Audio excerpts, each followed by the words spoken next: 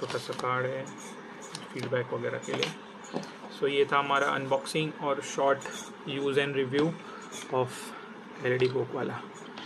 So guys thanks for watching and subscribe to the channel